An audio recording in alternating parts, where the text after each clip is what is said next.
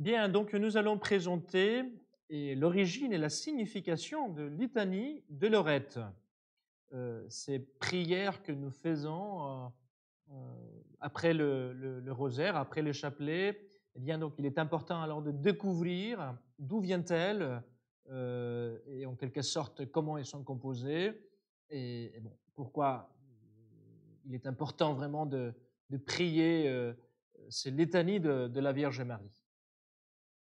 D'abord, il faut, donc dire que euh, les, mots litanie en grec signifient supplication sérieuse et cordiale.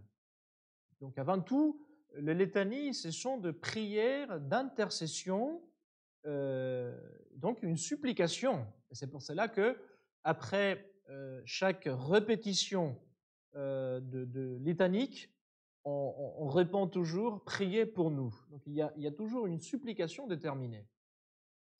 Et, cette prière litanique, elle est composée par, euh, par des titres et des vocables qui furent donnés à la Vierge Marie au cours euh, de, toute l'histoire, au cours des siècles.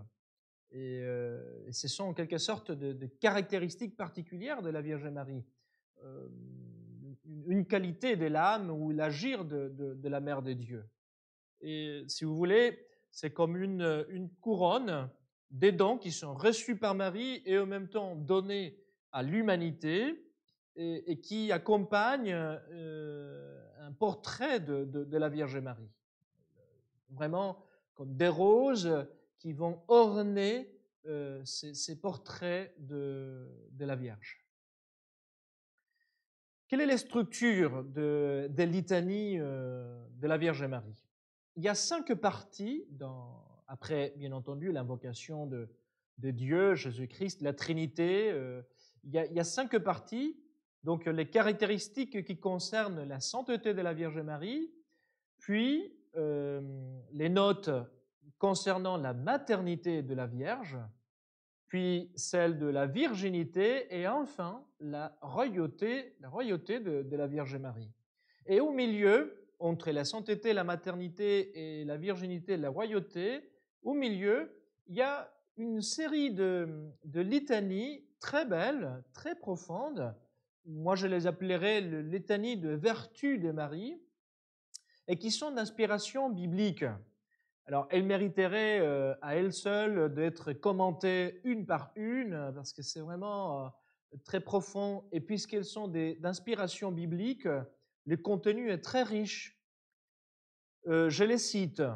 Miroir de la sainteté divine, trône de la sagesse, cause de notre joie, temple de l'Esprit Saint, tabernacle de la gloire éternelle, demeure toute consacrée à Dieu, rose mystique, tour de David, tour d'ivoire, maison d'or, arche d'alliance, porte du ciel, étoile du matin, salut des malades, refuge des pécheurs, consolatrice des affligés, secours des chrétiens. Extraordinaire alors, toutes ces invocations euh, ne sont pas seulement des litanies, mais des invocations qui contiennent un message pour nous les chrétiens. Donc il, mérite vraiment de s'arrêter sur chacune de ces invocations pour méditer avec ça, et pas seulement que ce soit une prière mécanique. Bien, quelles sont les origines de litanie? Alors, euh, on, dit souvent le litanie, toujours, voilà, euh, litanie de Lorette. Euh, il faut dire que l'origine de ces litanies est assez obscure. On ne connaît pas la, date de, composition de, de, cette litanie et, euh, et on ne connaît pas l'auteur non plus.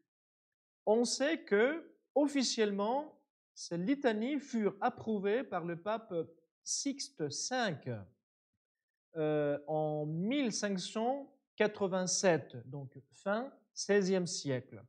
Mais les, auteurs euh, sérieux soutiennent que ces litanies étaient déjà, euh, on connaissait quelques-unes depuis le, le, 15e siècle, et puis quelques-uns soutiennent également que le, noyau particulier de, ces litanies était déjà récité, en tout cas pratiqué ou, cru à l'époque de, premiers chrétiens.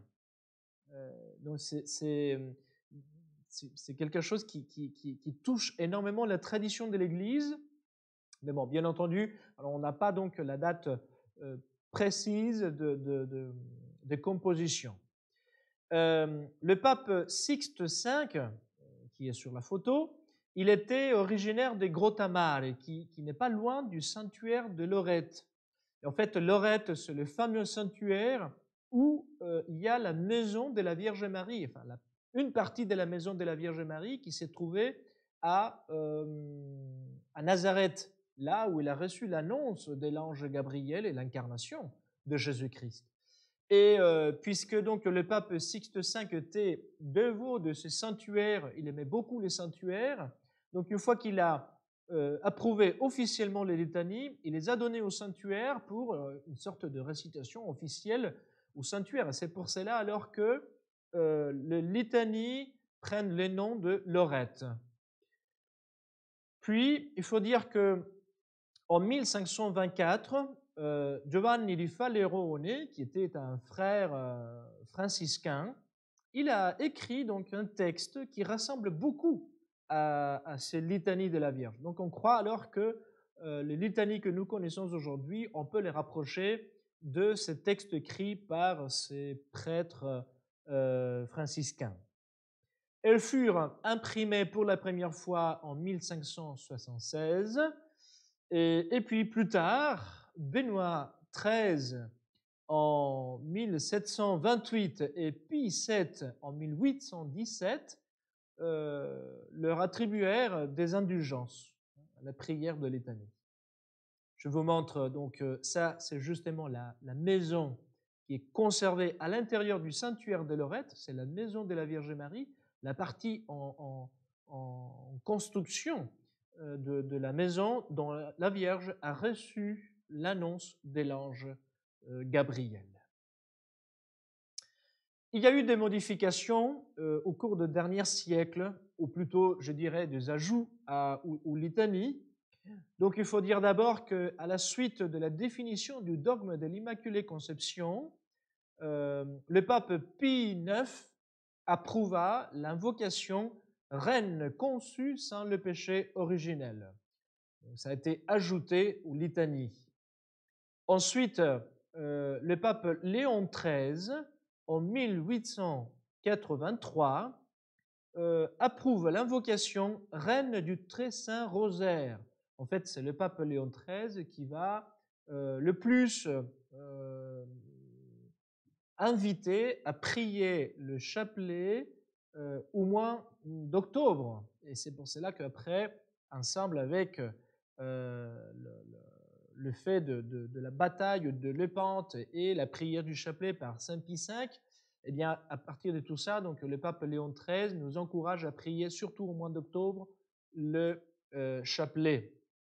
Et puis c'est lui-même qui, en 1903, va ajouter encore euh, une autre invocation, Mater Boni Consilio, mère de bon conseil. Et puis, le 27 avril 1915, le pape Benoît XV va ordonner d'ajouter l'invocation Reine de la paix. Hein, c'est juste euh, l'époque de euh, la Première Guerre mondiale. Et, euh, puis le pape Pie XII ajoutera en 1950 Reine élevée au ciel. C'est-à-dire que c'est la confirmation de la définition du dogme de l'Assomption de la Vierge Marie qui a été faite le 1er novembre 1950. On a ajouté alors cette dernière euh, invocation à la Vierge Marie. Et puis après, il y a eu le pape euh, Jean-Paul II, Saint Jean-Paul II, qui a ajouté tout dernièrement euh, l'invocation mm, Reine des familles. Donc le pape, elle était très marqué, nous le savons, par la dévotion à Marie. Donc il a ajouté cette invocation dans les litanies à la Vierge, et puis après, il a aussi, comme vous le savez, euh, créé les mystères lumineux du, chapelet. Donc là, nous avons le, pape Pie IX, puis après, vous avez Léon XIII, euh, le pape Benoît XV, puis euh, Pie XII, et puis enfin euh, Jean-Paul II. L'Église recommande de dire ces litanies après le rosaire. Le mois de Marie, au mois de mai et le mois d'octobre, le mois du rosaire, est un temps opportun pour prier le litanie à la Vierge Marie. Mais bien entendu, nous pouvons le faire toujours après chaque prière du chapelet. Cette prière est propice pour les gens qui sont en situation difficile, les persécutés, les opprimés, les prisonniers, les malades, ceux qui sont stressés par la vie. Et en fait, quand on parle de fruits et l'utilité de l'étanie de la Vierge, euh, les, bénéfices sont innombrables. en fait, les litanies, ils ont servi à faire cesser les pluies trop abondantes, les tonnerres, les tremblements de terre, à délivrer de la famine, de la sécheresse, de la guerre, des sièges, de la peste, à obtenir l'abondance des fruits de la terre. Tout ça, c'est réalisé au cours des siècles euh, par l'invocation de, de, de, l'étanie de la Vierge Marie. Mais surtout, euh, je voudrais m'arrêter dans le, le, fruit spirituel de la prière de l'étanie de la Vierge Marie. Et euh, j'en remarque quelques-uns procuraient beaucoup de consolation aux chrétiens persécutés à cause de leur foi. Chaque fois qu'il y a eu donc ces chrétiens, ce sont des témoignages qui ont été rendus au cours de l'histoire. Donc les chrétiens qui récitaient, persécutés, qui récitaient les litanies étaient complètement très consolés, très encouragés. Les litanies ont aidé également à répandre la foi chrétienne partout dans les mondes. Elles ont également aidé à détruire les maléfices et tous les artifices de la magie. Parce qu'en fait, les litanies de la Vierge Marie, c'est l'invocation à la très sainte Vierge, chose que le démon n'aime pas du tout, et euh, c'est une arme puissante, comme disait le Père Pio, une arme puissante contre le démon. Les litanies également nous aident à défendre la chasteté et la pureté des chrétiens. Donc, chaque fois que nous sommes tentés par rapport à cela, il faut bien invoquer ces, ces, litanies de la très sainte Vierge. Et finalement, elles nous aident à obtenir une bonne et sainte mort. Euh, voilà, donc euh, je pense que euh, ce sont des prières très belles et très importantes que nous devons réciter, que nous devons nous habituer aussi à réciter à enseigner, à, réciter autour de nous, en famille, aux enfants, et pour invoquer la Vierge Marie, pour invoquer son secours, sa consolation, sa protection maternelle sur nous et sur tous ceux qui sont autour de nous.